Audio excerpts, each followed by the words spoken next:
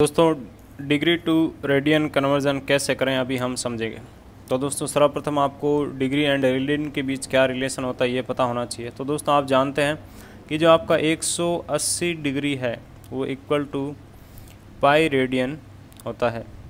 ये दोस्तों, बहुत इंपॉर्टेंट रिलेशन है, ये आपको याद होना चाहिए। इसको आप ऐसे याद रखने के ट्रिक से याद रख सकते हैं। देखिए, जब आप एक अपना सर्कल कंप्लीट करते हैं तो कितना? 360 डिग्री का कोण बनता है। और इसको हम लिखते हैं आपका रेडियन में टू पाई रेडियन ठीक है? इसको दोनों साइड आप दो का डिवाइड करेंगे तो ये कितना आ जाएगा? 180 ये कितना आ जाएगा आपका? पाई यानी ये रिलेशन हमें मिल जाएगा।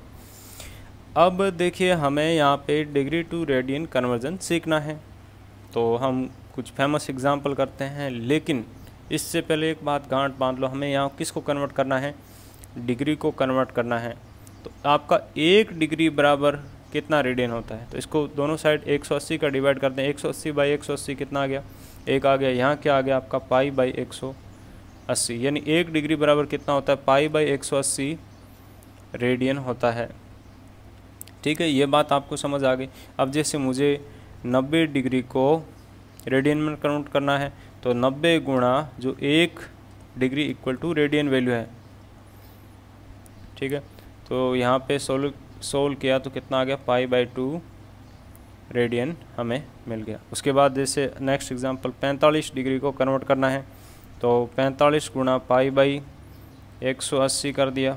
इसको सोल्व किया, देखिए 45 से 180 कितना चार बार कैंसिल हो गया, यानी पाई बाई फोर रेडियन हमें वैल्यू मिल गया। ओके तो इस तरीके से मैं उम्मीद कर रहा हूँ कि आप इसको काफ़ी हद तक समझ पाए हैं इस मेरी बात को। और बहुत डिफ़िकल्ट एग्ज़ाम्पल भी हमने सोल्व किए हुए हैं तो वो आपको मिलेंगे हमारे चैनल के प्लेलिस्ट पर और उस प्लेलिस्ट की लिंक मैं आपको नीचे डिस्क्रिप्शन में दे रहा हूँ। धन्यवाद।